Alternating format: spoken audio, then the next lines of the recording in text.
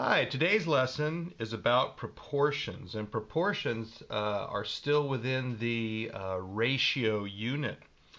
What we're doing with proportions is we're comparing two fraction ratios, okay, where one of the ratios is incomplete, and then there's certain things that we do to find out what that missing number is, okay?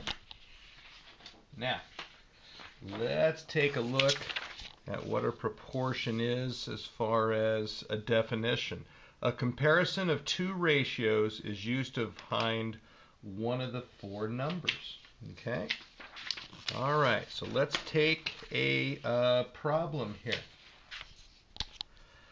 Let's say I went out into my yard, I picked 30 oranges, I juiced them, and then that created five cups of orange juice from those 30 oranges. Okay? Then, if we go over here, here's our proportion question. How many cups of OJ can be squeezed from 90 oranges that are about the same size as uh, these? That is a proportion question. Okay?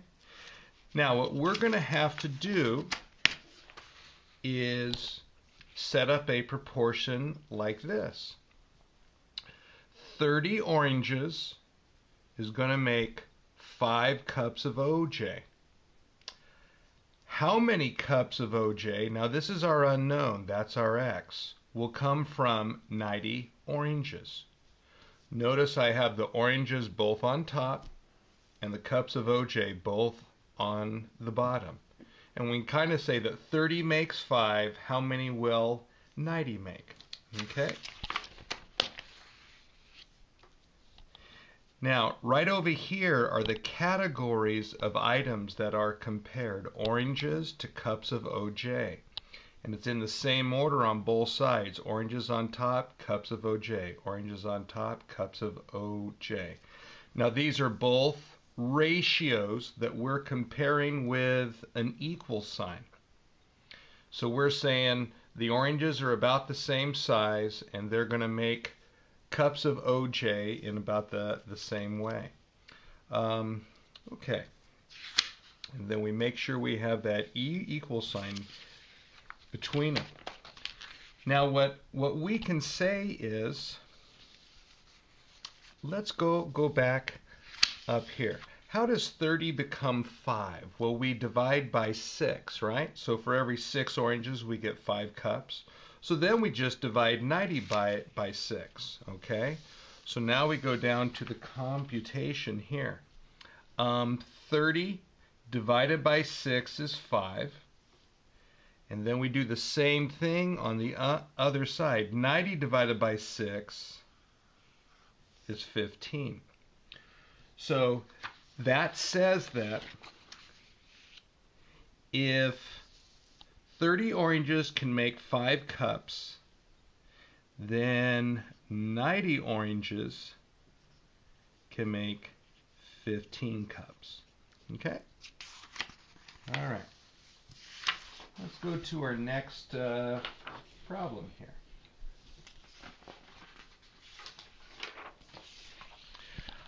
Let's say I have a big pro property and I have eight acres of apple trees and there are 1,000 trees in the eight acres. Now let's say I buy a piece of land uh, next to what I have now. It's a pretty big piece and I there's going to be 20 acres that I'm going to plant the same ratio of trees per acre. So we want to know how many trees are going to fit on those 20 acres if it's the same ratio that when when we plant 1,000 on 8 acres. Okay? Now, there are two categories here, acres, which we'll use as a cap, capital A, and trees as a capital T. So let's see if we can set this up. Okay? How's this? Eight acres produces 1,000 trees. 20 acres should produce an, an unknown number of trees. Now we can do that another way. We can also say 8 acres produces 1,000 trees. 20 acres will produce how many trees? Okay? Okay. Now in this problem, we have three numbers. 8 acres, 20 acres, and 1,000 trees.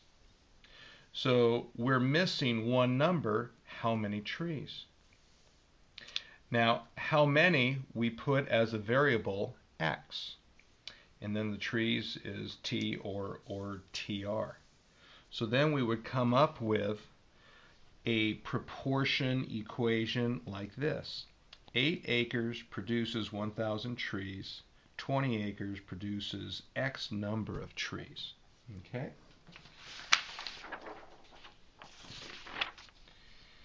Then to solve it, let, let's say we first write it like this. To solve it, we're going to do what's called cross multiply. Okay? Where we cross multiply here. It's a little trick that we can do only when we have two fractions and an equal sign there with a proportion problem. This is not cross cancel. This is cross mul multiply.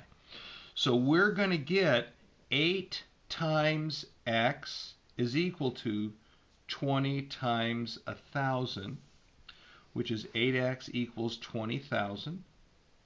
Now to get this x by itself, we're going to have to divide both sides by 8.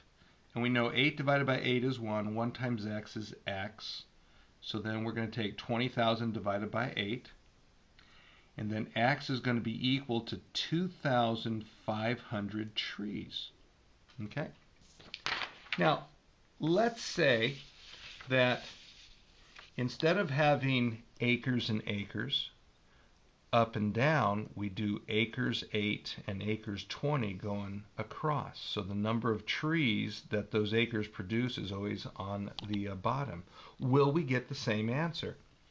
So we cross multiply 8 over 1,000 equals 20 over x. We get 8x is equal to 20 times 1,000. And so that's 8x equals 20,000. We divide by 8 on both sides and we get x equals 2,500 trees. Okay? So if we go back to our original problem, let's see if this makes sense. 8 acres produces a thousand trees. 20 acres produces 2,500 trees. Okay? Now, is 20 a little more than double of 8? Yeah. Is 2,500 a little more double than, a little more than double of 1,000? Yes. So our answer makes sense. So that's how proportion problems uh, work. Okay?